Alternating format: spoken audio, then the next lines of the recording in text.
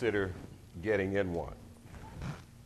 And so, what we want to take a look at uh, this morning is our scripture is coming from James 2 1 through 10.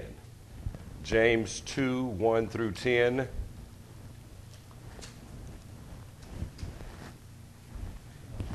And so we'll, we'll talk a little bit about this, but so James 2 1 through 10, and I like to read from here. It says, My brothers, as believers in our glorious Lord Jesus Christ, don't show favoritism.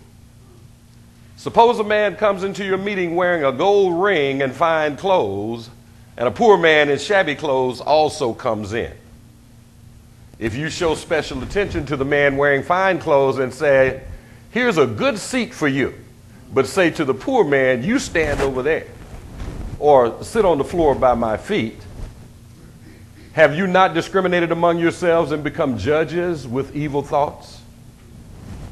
Listen, my dear brothers, has not God chosen those who are poor in the eyes of the world to be rich in faith and to inherit the kingdom he promised to those who love him?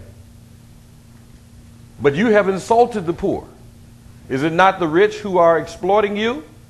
Are they not the ones who are dragging you into court?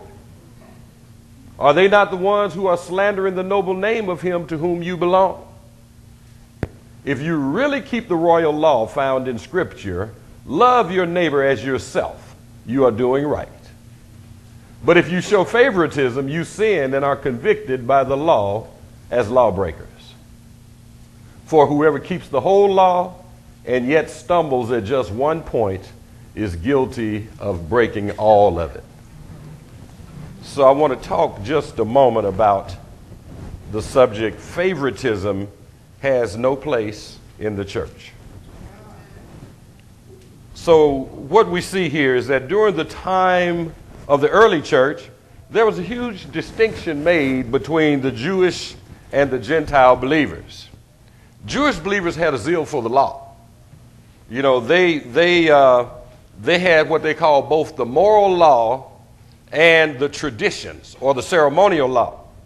And so they've kind of frowned upon anybody who didn't share that same view. You know, if you, did, you didn't share the same view, it's like, uh, uh, you know, you, in order to be a part of this fellowship, you need to be able to honor and keep both types of the law if you want to come in here. Okay?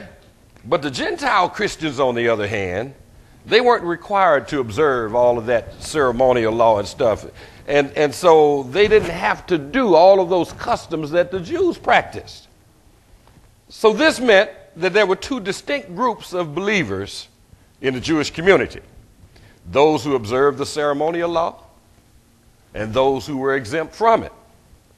The rub is that the former Jews turned Christians now considered themselves to observe a higher and more complete form of Christianity. See, and, and, and, and, and so then, then what you see within these congregations, then, the Christians, folks, the Gentile Christians, were not treated equally, especially when it came to wealth.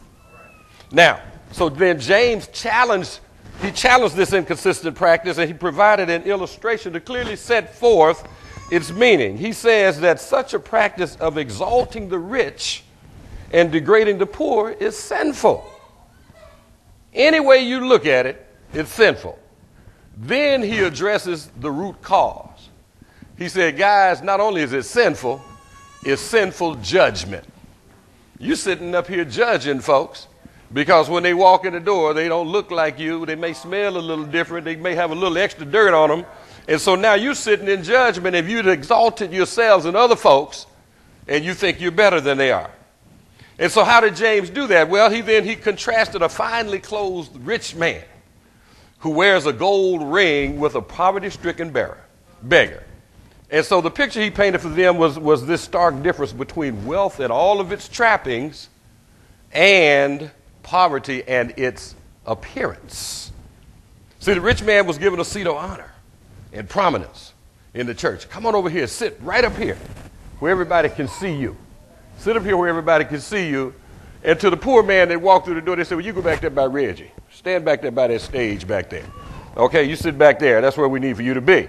And so the, push man, the, the poor man was pushed in the corner and out of sight. He probably didn't smell so good. His clothes were a little bit dirty. But we dare not put him where everybody can see him. Of course, now we want the rich man up here where everybody can see him. So the first thing I want to mention to you is that partiality neglects the image of God in fellow humans. Let me say that again. Partiality neglects the image of God in fellow humans. So, so when we play favorites, we discard the fact that God created all of us in his image. Each of us should receive the same honor and dignity as the rich man. It doesn't matter whether we, we, you know, what our, what our income level is or, or where we live or whatever. We ought to get that same respect. You see, it, it, but we get, we get this, this thing, we get caught up in social standing, and sometimes we get caught up in church standing. And we'll judge a book by its cover. Now, I'm, I'm, I'm going to tell you what, what I mean. And I've got uh, Jackie and I, when we lived in in Barstow, and, and uh, we went to buy a new car. And, and we went to the, to the, I remember we went to the Oldsmobile dealership, and we walked in. I'd been painting that day. You know, I'd been painting. I still had my paint clothes on. You know, we going to buy a car. We walked in, a dude sitting over in the corner reading the paper. Sitting over in the corner reading the paper, and uh, he looked up. He went back to reading his paper. You know, and I'm like, hmm, okay. And somebody else walked in, hey, how y'all doing? And they just kept on going, you know, kept walking. I'm like, okay. I finally told Jack, I said it was a it was an Oldsmobile dealership right across the street. We went to the Ford dealership first, right? Oldsmobile dealership right across the street. I said, let's go to the Oldsmobile dealership. We got over to the Oldsmobile dealership. Dealership didn't matter that I had on paint clothes. We walked in the door. They said, "Hey, how you doing? How can we help you today?" I'm like, "All right, this is what I'm talking about right here." You know, this is what I'm talking about. Don't matter what I look like. You know, I know I smell like paint and stuff, got all splotches all over me and stuff, but it's like, he said, How can we help you? So we came out of there with, Jack came out with a brand new Oldsmobile. You know, and, and so you know me, we was in the brand new Oldsmobile. I drove over to the Ford place and honked the horn. hey, you know, see, you judge a man by what he looks like instead of looking at him for who he is or who she is, right? And so we've allowed societies and, and, sometimes our own church traditions, like we say, to shape our thought processes, even when it comes to how we conduct ourselves in church. So if a guest who's less fortunate than we are comes into the church, we should welcome them and let them sit wherever they want to sit. We don't want to push them anywhere else. Uh, so, so I grew up in a time, you know, now I, I grew up in a time where nobody sat on the front row but the deacons. I came from down south, boy. You better not get up on that front row. You know, the only time they put you up on the front row, now they had what they had, but didn't have it so much in my church, but it was a practice down there. They put you on display on the mourner's bench. They had what they call the mourner's bench down there. They put you on display. Boy, you're sinning. Get on up here on the morning bench, mourner's bench. Need to pray for you. You know, got to save your soul. You know, that they put you on display there. You know, we thank God we didn't do that at our church because I think half the church had been up on the mourner's bench. But uh, but, but, but if an unchurched person walks through our door, and if an unchurched person sits on this front row, it shouldn't matter. It shouldn't matter. If you want to sit with the deacons, I want the deacons to move over, let them sit down and talk to them. Right? Talk to them. You know, if a man walks in with his hat on, is that going to affect his worship? No. Not at all. Not at all. You know, but but but will the guy go to hell because he wore his hat in church today? No, he won't. The problem is we become more concerned sometimes with, with a person, a man pulling his hat off, than we are with him putting Jesus on. See, that's the issue that we have. That's the issue that we have. So then let's, let's take a look at the second thing here, which is that partiality makes us a judge over others. In the world, discrimination is a common occurrence, but in the Christian fellowship of the church, there's no room for humiliation or arrogance. We're all Christ's brothers and sisters and heirs to his riches. And so when the type of partiality that, Jesus, that, that, that James describes goes on in the church, how can we not be bothered by it? It ought to disturb us. We're determining someone's value based on the way that they look. We've got preconceived notions about them, just like that man who was sitting reading the newspaper when we were trying to buy a new car, right? We got preconceived notions. God doesn't look at our outward appearance, He looks at the condition of the heart. And so, when you talk about folks judging you, a story that has always stayed with me, I'll never forget from the time we were, we were small kids, probably seven, eight years old, and, and I remember our dad was the head of the Baptist Training Union. A lot of us know it as BTU. Back in those days, growing up in Little Rock, Arkansas, I'm talking back in the 60s. And they were doing some kind of movie at, the, at, the, at, at First Baptist, it was, which was a big white church that was there. And uh, they, they sent out this thing to all the churches black, white, blue, green, other, don't matter about color, come on. You know, bring your kids. And I forget what the, what the Christian movie was. And so here my dad and about three other chaperones, we got about, about 20 of us young folks with them. And we go down to the church and we wanted to go, we were going in to see the movie and we got stopped at the steps to the church. And the usher at the door said, You're not welcome here. He said, You're not welcome here. You know, uh, this movie is for so and so or whatever. My dad, being the humble man that he was, didn't say anything then. He just gathered us all up. And we went back to the church or whatever. But when he got home, I've never seen my dad cry so hard as he cried that day. And, and, and he was not he was not crying because of what the man said to him. But he was crying because the place that was supposed to welcome us the place that was supposed to invite us in, the place that said and had advertised, this is God's house. Come on in, had turned us away because of the color of our skin. And my father just, he cried like a baby. And uh, we were, like I said, not because of the injustice done to him, but because of the young children and the impression that that would leave on them. Here I am, 67 years old and I still remember that like it was yesterday. You know. But but it was because one man who was the doorkeeper deemed that we were worthless. We weren't worth seeing a movie. Did he really believe that he was doing God's work by turning us away? Now you have to wonder could we believe when we do stuff like that? Are you really, when you think about it, are we really doing God's work. Uh, the same thing happens. It may not be to that extent, but when we show partiality to somebody, we're putting ourselves in God's place by judging the worth of another. So, in James' time, the people of the church were mostly of humble backgrounds.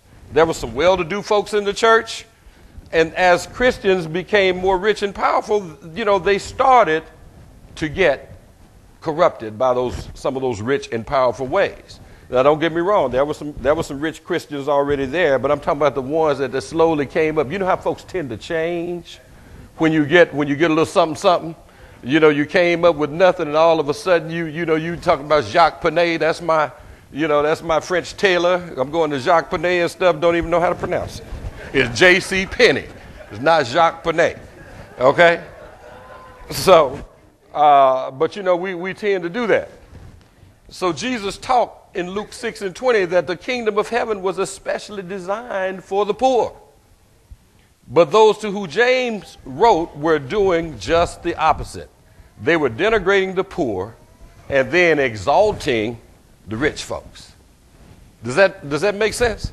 See, that's what was going on. And we have a tendency to do that when we play favoritism in God's church. Let's look at number three.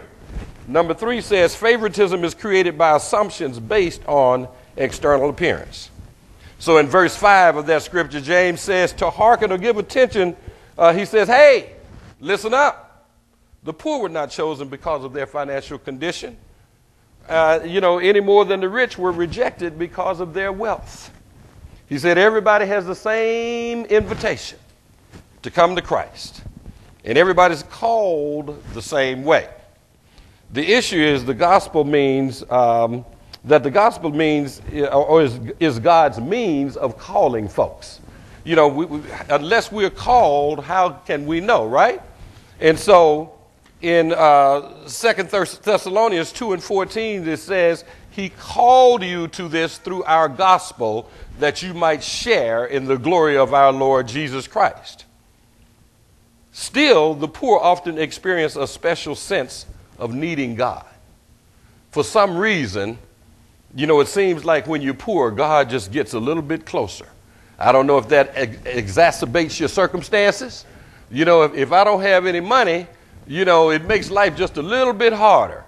You know, if I don't have a job, it makes life a little bit harder. If I don't have a roof over my head and living in my car, it makes life just a little bit harder. And, and, and so the poor often experience a special sense of needing God, while the rich are often complacent and self dependent. We've seen it. You know, the more I got, it's like, look what I did. Look what I did. So James said the church folks had elevated the rich and despised the poor. The irony is that the rich folks are the ones who oppressed them. That's the ones who was dogging them out, taking them to court, sending them to jail. But yet you bring the one that dogged you out, sent you to jail, and you put them right up here in front, let everybody see. Okay?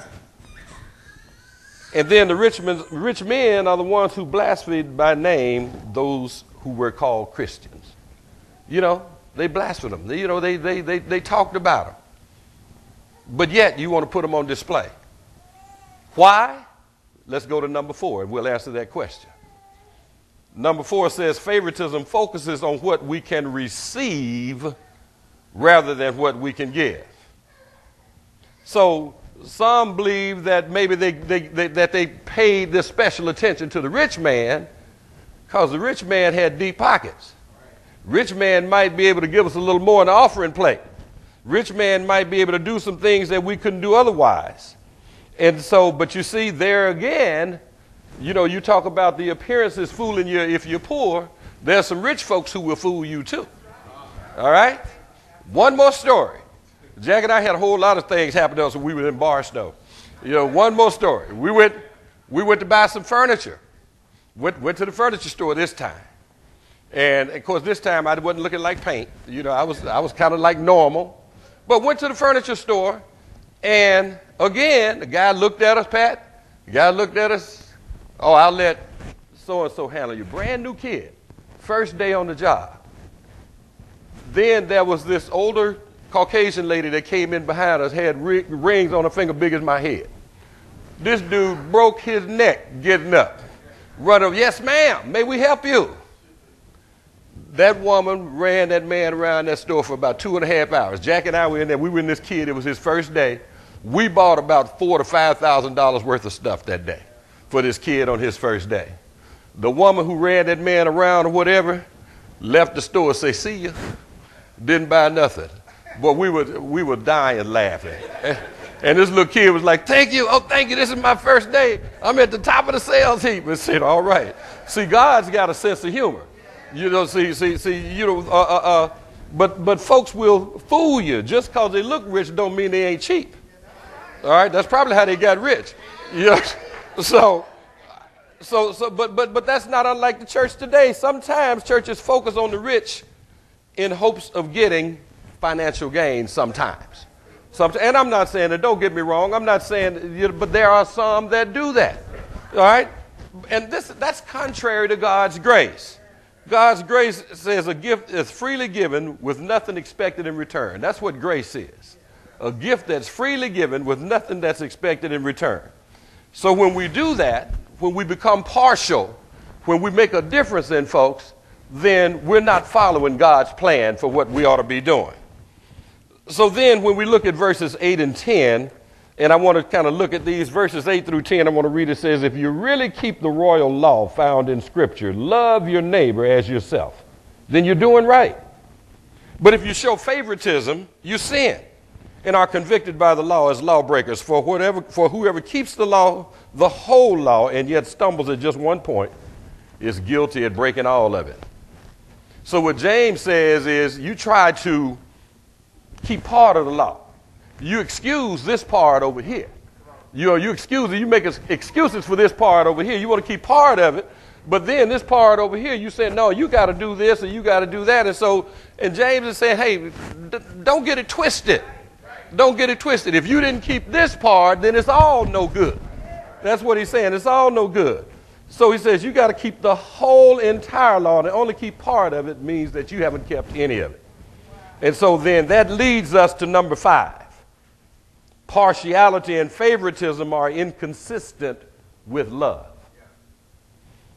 Those in the church who gave respect to the rich over the poor were still guilty of sinning.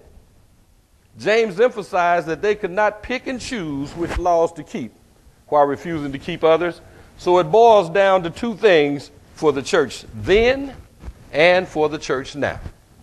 Those two things are love God and love people. Love God and love your brother man, or love your sister in Christ, that is. All right? So our horizontal relationship with one another is just as important as our vertical relationship.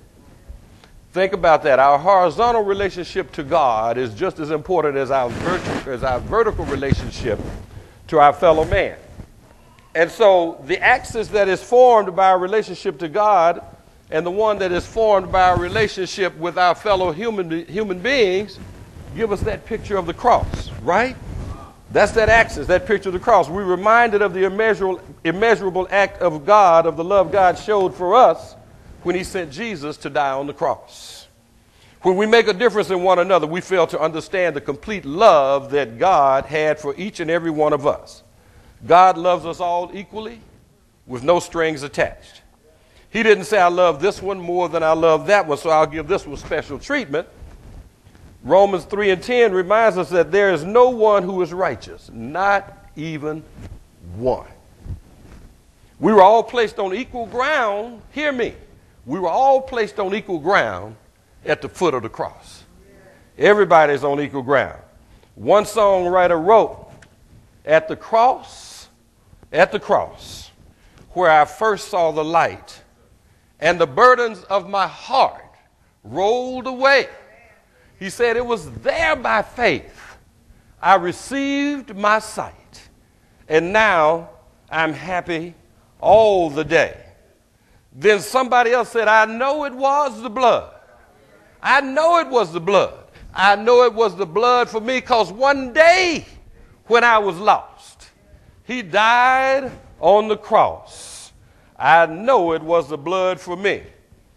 And then another one said, Love lifted me. Love lifted me when nothing else could help. Love lifted me. See, that same love requires that we each, lift each other up in prayer. You see, that we treat one another with love and that we respect one another, particularly in God's house. There's no room for favorites in here. God builds his kingdom with people from every walk of life who loved him and who loves to keep his word. But he requires not only do we love him, but we got to love others. If we don't love others, we're not going to make it. That's what it's all about. You know? What did Jesus say? Love the Lord thy God with all thy heart, with all thy soul, with all thy mind, and all thy strength. And he said, the second is like the first love thy neighbor as thyself. So if we don't love our neighbor, we can't love God and say and, and not love our neighbor. Because if that's the case, we don't love God. We can't keep part of it and excuse the other part. We got to keep it all. Does that make sense? And so it's with that same type of love then that we're required, we are required to treat one another with respect, to love one another regardless of our station, and to be able to support one another whenever it's needed. Because that's what God has done for us.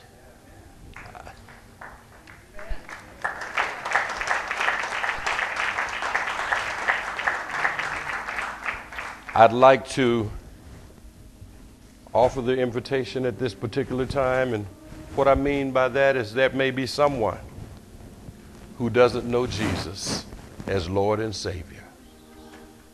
And if you don't know Jesus as Lord and Savior, I, I invite you to come forth and know this man know this man who is Lord and King of our lives.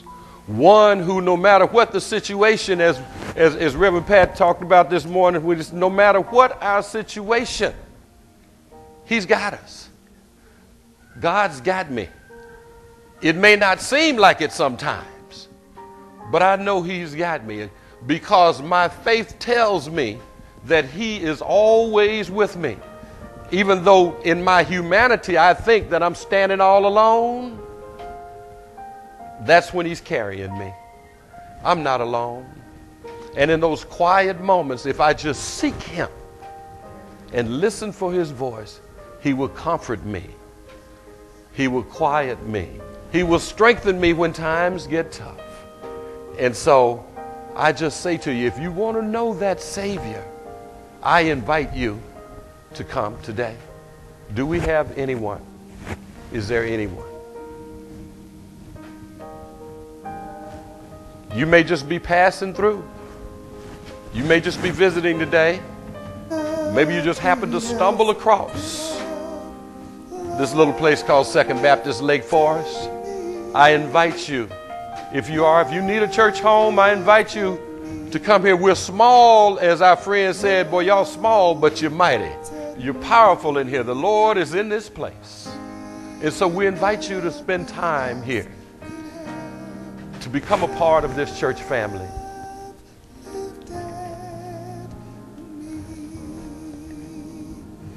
We have Maybe someone who just doesn't come like the church like you used to. But you say, I want to come back. And God, I, am just kind of ashamed. But don't be ashamed because the Lord will allow us all. He's covered all of those sins. Is there anyone in that category? If not, then we have done what the Lord has commanded. Let's sing that. Love lifted me. Love lifted me. Love lifted me. When nothing else could help. When nothing else could help. Love lifted me. Oh, love lifted me. Love lifted me when nothing else could help. When nothing else could help. Love